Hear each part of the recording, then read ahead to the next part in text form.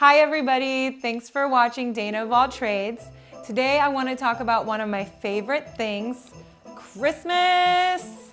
I want to talk about my Christmas village specifically. I put my Christmas village up recently and as I was going along, I thought of a few helpful tips for you when you're setting up your village. The first tip is if you are new to the Christmas village life, don't worry, just remember to start small.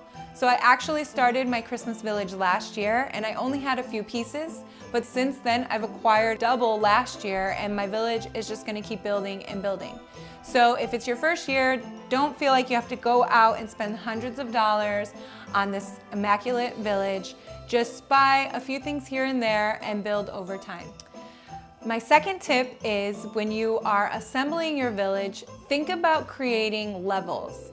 So I actually just used the box that pieces of the village came in and I turned it over, covered it in snow, and then put the pieces on top of it. That way each piece can be properly displayed and nothing is hiding behind anything else. And it just makes the village feel a lot fuller. The third tip is to make sure that your village makes sense to you.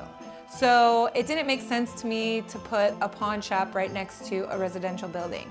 So instead I have all the homes, all the camping in one side, all the businesses in the other, and then a park in the middle.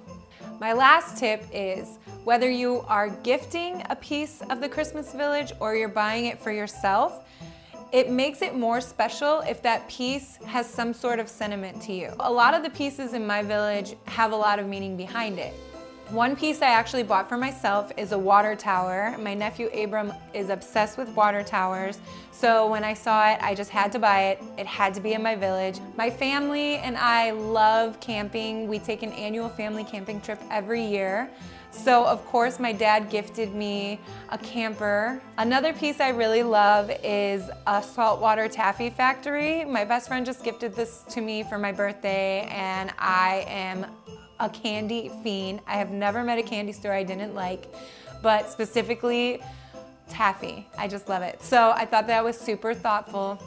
Another piece I really love is this grilled cheese food truck that my brother gifted me. We both really love grilled cheese and then we ran into a grilled cheese food truck in Chicago and it was the best grilled cheese I've ever had in life.